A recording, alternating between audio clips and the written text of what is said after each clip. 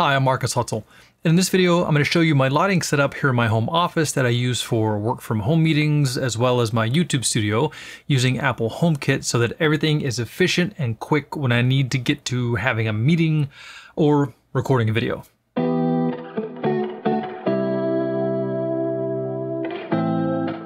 If you're just starting out building a YouTube studio or even just a virtual home office, somewhere you need to be on camera and you want it to look professional and put together, chances are you're thinking about lighting, or at least you probably should be thinking about lighting.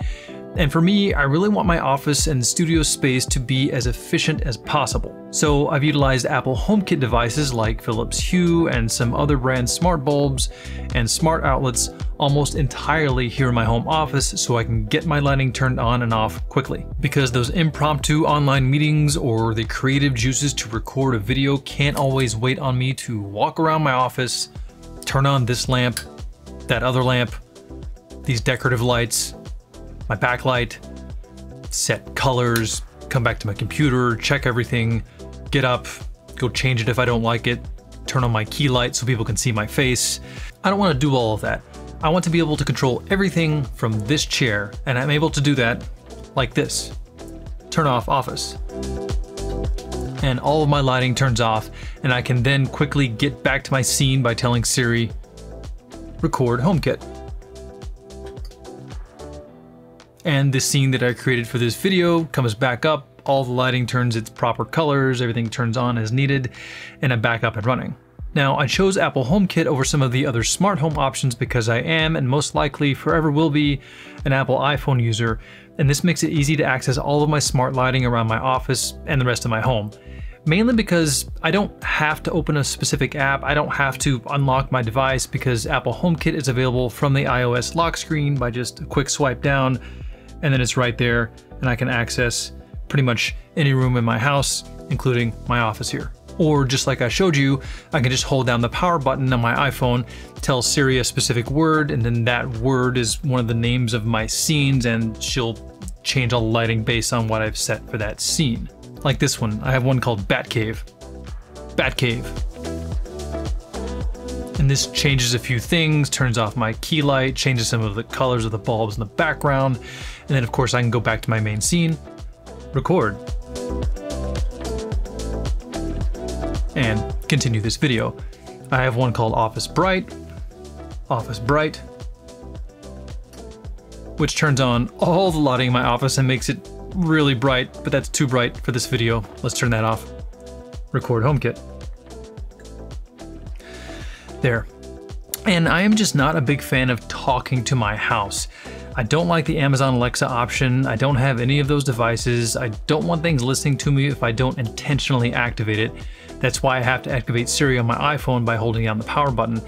And using HomeKit means that I don't actually have to speak out loud at all. I can just use the on-screen controls here on my iPhone.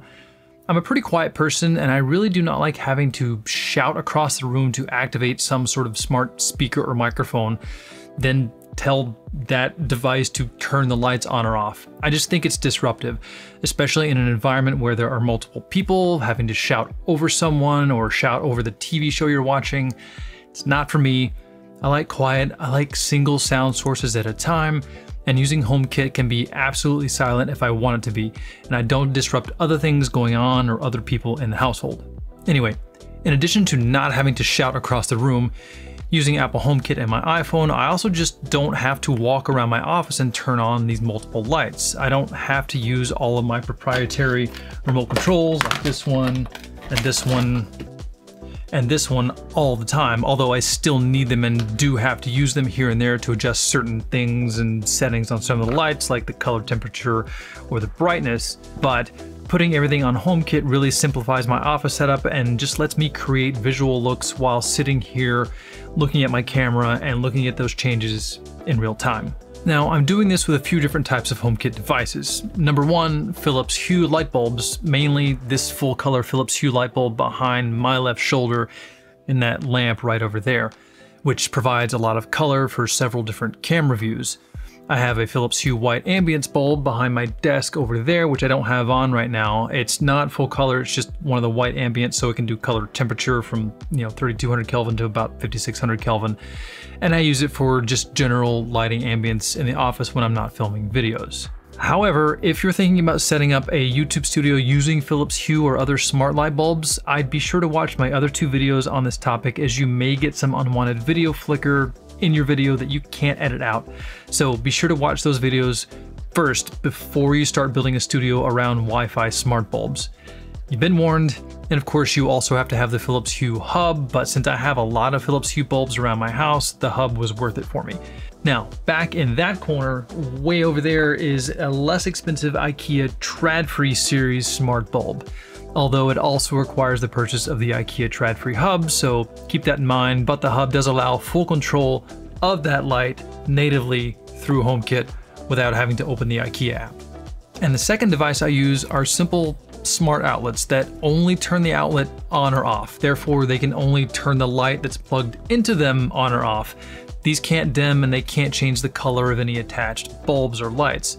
But I have a ton of these around my office and around the rest of the house actually for various things. Here in my office, I have about five of these things. I have one for my key light, I have one for my backlight, I have one for this lamp behind me, that one right there. I have one for controlling these vintage style Edison lights behind me. I have one that can turn on and off these quasar tubes that were in my brighter scene that I have mounted above my windows. So the combination of smart bulbs and the smart outlets are really how I have automated my home office and YouTube studio using Apple HomeKit. I've had good experience with these Meross brand smart plugs. They work natively with Apple HomeKit, which means you don't even have to open up a third-party app. You just set them up with HomeKit directly. So once I installed all of these, obviously, as you've seen, I can say things like turn off key light. And HomeKit turns off the smart outlet connected to my key light. Let's turn it back on. Turn on key light. But again, to change the color temperature or intensity of my key light, I still have to use the remote, but I usually just have my key light set to where I want it for most meetings and recordings, so I don't have to use the remote too often. Or I can turn on and off those vintage Edison style lights. Turn off Edison lights. And so on and so forth. Let's turn those back on. Turn on Edison lights. So one important thing to note is that these smart outlets also have a physical button on them where you can always just push the button and turn the outlet on or off. And for my key light, and those quasar tubes, I actually just mounted these two smart outlets where I can still reach the physical button from my desk chair, so I don't always have to use the HomeKit app to turn those two light sources on or off. I can just manually turn those on or off real quickly by reaching up under here, clicking the button on the smart outlet, so my key light is always at arm's length, as well as those quasar tubes. Yeah, turn those off. Now, the quasar tubes and those vintage style Edison lights, I also installed a manual dimmer between the smart outlet and the lights so that I can set the brightness of those lights because I don't need them at full power most of the time. But those particular dimmers are just manual dimmers, so these specific dimmers cannot be controlled via HomeKit, but I wanted them in line so that when I turn on the quasars, turn on quasar tubes that I can then just reach over here and kind of use the manual dimmer to dim them up and down, remembering that I have to then go back and manually set the dimmer because if I turn the outlet on or off, the tubes will just come back on at the level that the manual dimmer is set. So a little bit less functionality, but just helps me keep the brightness level where I want it. Turn off quasars. But for those Edison lights, I found a happy medium of the exposure that I want for camera as well as just general ambience in the room. So I usually never really need to change the dimmer value on those Edison lights. But if I did, I'd still have to get up and walk over here to where the dimmer is and change them. But I just leave them alone most of the time. So yes, these smart outlets obviously only turn on and off the power coming out of this outlet. So again, all they can do is basically turn on or off the items plugged into them. But luckily that's all I really need. My current key light is a Neewer 480 bicolor panel light. Again, it also has its own dedicated remote control where I can adjust the brightness or color temperature of that light. So if I need to change the color brightness, I just keep this remote in a little drawer over here under my desk. But luckily with this particular Neewer light, it remembers its brightness and Kelvin value when you turn it off and back on or when you disconnect it from power and then reconnect it. And that's great. So when I use my HomeKit outlet to turn it on or off, it comes back on to the same brightness and color temperature and I don't have to always grab the remote. And it's similar for my backlight. I have that light plugged into another smart outlet, of course, and that's actually a standard Neewer 660 model, and that model doesn't have any wireless controls. The brightness and color temperature adjustments are only with physical dials on the back of the light, so if I do want to change the color temperature of that light, I do have to get up and go manually change it, but I usually just have it set at about 5600 Kelvin and just enough to provide this side backlight here on the right side of my face. Then I can just turn the outlet on or off, of course, turn off backlight, and the backlight turns off, easy, turn on backlight. And this lamp behind me, that one right there, if you've watched any of my other videos, the vast majority of those videos, that light is like a blue or a purple color, and that's because I only have a simple purple LED bulb in that lamp this one actually, usually. This is not a smart light, it's not controllable, it's just a purple bulb that I got at Home Depot years back, and it was always just purple when I activated the smart outlet attached to that lamp. But recently I bought an Aputure B7C bulb to go in that lamp instead so I could also change the color, and so I could film without being worried about any video flicker because the Aputure B7C bulbs won't produce flicker in your videos. But of course, Apple HomeKit cannot control the Aputure B7C bulb natively. So that's the downside of having Aputure bulbs. You have to still boot up the Sidus Link app on your phone. Wait for it. And this is why I haven't gone full Aputure uh, lights in my office because I have to wait on this app to boot up. And as you can see, it takes a second. But once it's booted up, I can then, you know, change the color. So we'll go back to that. But again, not natively controlled with HomeKit. I cannot control that bulb's color or intensity with HomeKit. I have to use the Sidus Link app, but I can still turn off the entire lamp, turn off purple lamp, and it will still turn the lamp on or off as needed. Turn on purple lamp. But luckily the B7C bulb also comes back on to its same color and intensity when you restore power to the outlet. Of course, then I have tons of scenes set up in Apple HomeKit, and this is a great way to save lighting scenes if I'm recording something so I can come back to it and refilm a portion if I flubbed a line.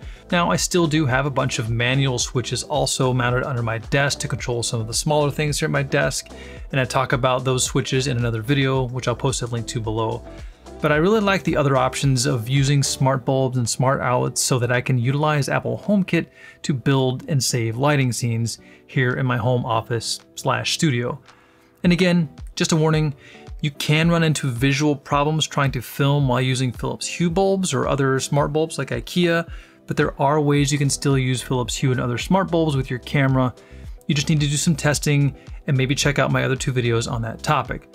But again, using Apple HomeKit in this way makes things so much more quick to turn on or off all of my lights, change colors, and limits how many individual remotes that I need to use, and it limits how many apps I need to open just to access all of those devices. It's quick, it's easy, it's available right here on my home screen. I can go to my office right there, and I can access all the lights or any of the scenes in my office without having to boot up any other app without having to actually unlock my device. It's just there and ready to go. And I use this system every day for virtual meetings and of course, recording my videos. And I think that's it. I just thought I'd share my efficient lighting setup using Apple HomeKit here in my home office and YouTube studio.